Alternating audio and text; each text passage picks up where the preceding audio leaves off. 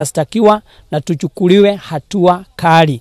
Tunaomba kwamba sababu hawa wafisi wanakuja kwa mashamba yetu, waje wazitoe, na wakitaka kutumia ile msitu wako naye, waje wauzingire na watumie vyema, na wakiziweka kama wanyama wa pori, sisi tutashirikiana na wao kuzitunza, lakini siache kuingia kwa mashamba yetu na kwa boma zetu. Tuko na woga, maana hata stima hatuna, barabara sio safi kama Muthigiriri. Kwa hivyo tunaogopa, maana kuna lolote laweza tokea, na kuna hatari kwa watoto, kwa wazazi wetu, kwa wamama wetu na hata sisi kwa wazee, maana hata wazee sasa hawaendi kunywa sana, wanaingia nyumbani mapema sababu ya kuogopa fisi. Kwa hivyo naomba muigirie ili tusaidike.